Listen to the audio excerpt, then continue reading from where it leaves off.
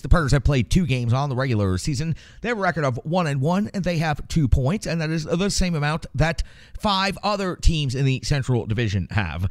On the road, where the Nashville Predators' next game will take place against the Boston Bruins, the Predators have a record of zero and one. The Predators have scored six goals on the season, and they have given up five goals against. Now, for the Nashville Predators, it's the first of two regular season meetings against their Eastern Conference Boston Bruins. They will not skate against each other again until damn near the end of the season. It won't happen until April the 2nd when the Boston Bruins come here to Nashville to face off against the Preds at Bridgestone Arena.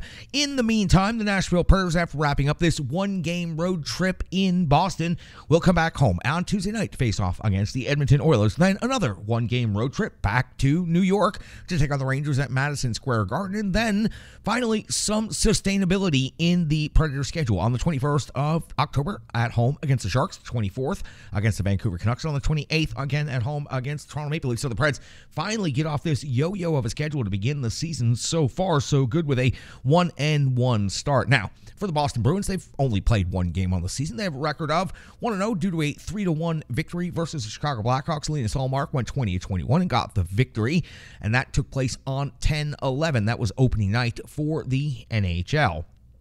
Now, there aren't a lot of numbers or rankings at this point, but getting into the habit, getting into delivering it the style that we do in the format that we do, we'll go ahead and buzz through it really quickly. Now, for the Boston Bruins, they've only played one game. They scored three goals, so therefore they are scoring three goals per game. That is tied for 16th in the NHL. That's right. It's already got a ranking on it.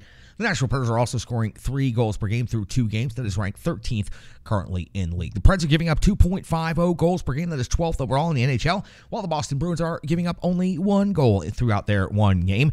Shots on goal are the same for each team 33 apiece. Shots against the Nashville Predators giving up 28.5 per game. That's ninth best in the NHL so far through two games. Shots against four.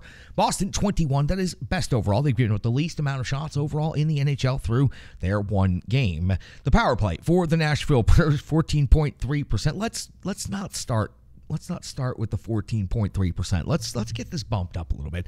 That's good for 13th through two games. They are only one out of seven, and they did fail to score on a five on three opportunity, a lengthy five on three opportunity. The Boston Bruins actually have a power play percentage of zero. They're 0 for 3 on the season, and uh, I don't expect it's going to stay that way for very long. The penalty kill for the Nashville Predators, 71.4%. They've given up two power play goals against on the season. The Bruins, 100%. They've killed off all four shorthanded opportunities against them. When it comes to the stats through two games for the Nashville Predators, one quick note, forgot to mention injuries. Luke Schenn is considered day to day with a lower body injury. Defenseman Schenn for the Nashville Predators missed this game and also is expected to be out for at least the next couple of days. Now, on to the statistics.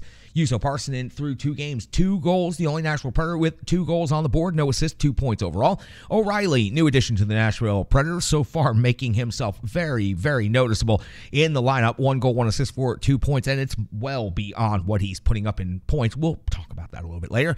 Nyquist gets his first goal as Nashville Predator, had assist on that one. He's got two points. Forsberg's got two assists for two points, and McDonagh also with two assists for two points. Juuse Saros through two games has a record of 101 and 2.05 goals against average and a .929 save percentage. Now in the first game for the Boston Bruins, not surprising to see that Pastrnak had two of their three goals. Frederic had the other goal.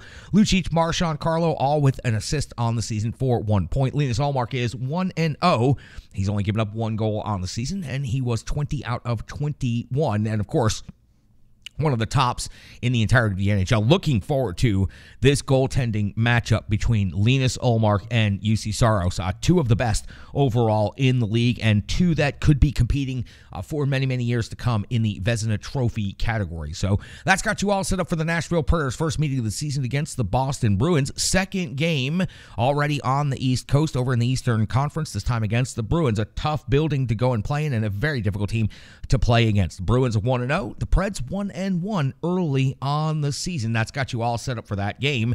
Now we've got to go back. It was the home opener for the Nashville Predators. The Seattle Kraken are in town, and the Nashville Predators are already playing in their second game of the season. We got to recap that whole thing. We got to go into great detail about it. Got it coming up, play by play, goal by goal, and every other detail that you need to know coming up on the Reverb Sports full game recap right after that.